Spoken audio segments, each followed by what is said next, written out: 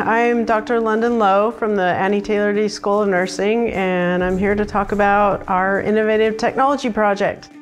We were offered the opportunity through WSU Online to participate in disruptive technologies that can make a difference in education. For us, we decided we wanted to try virtual reality we're using this to teach our nurses how to do start triage for mass casualty incidents, but you could use this in just about any college, any program across campus. It's all based on your creativity, and we've had a great experience with it so far. Hi, I'm Carson Wayland. I am a nursing major currently in my Bachelor's of Nursing. This actually let me get into a scenario where I was able to like lay hands on a patient. I was actually able to read vitals, have a conversation, and just that kinetic ability to learn really made it cement and stick around. I'm Tim Ma. I'm an instructional designer here at Weber State with WSU Online. We got asked to do find innovative technologies and we're basically by the provost even and he wanted us to go out and find disruptive things. We invited faculty members with some of the thing of our ideas we had and said, okay, here's an opportunity to implement some of these things.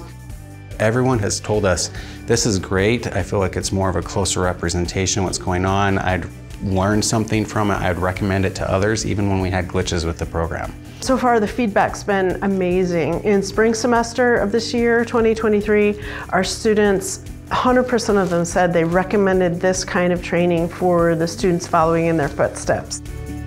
This has been my top course through like favorite out of all the nursing classes I've taken. I mean, the VR scenario was really cool and very unique. I've never had that opportunity before. It was actually my first time using a VR system.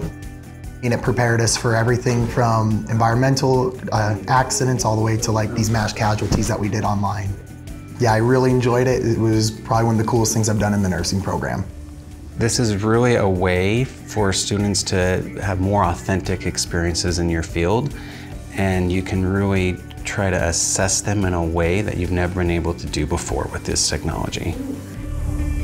We've already graduated thousands of nurses that are in our Utah communities ready and standing by, and we thought this technology would be a really great opportunity to help them prepare even better.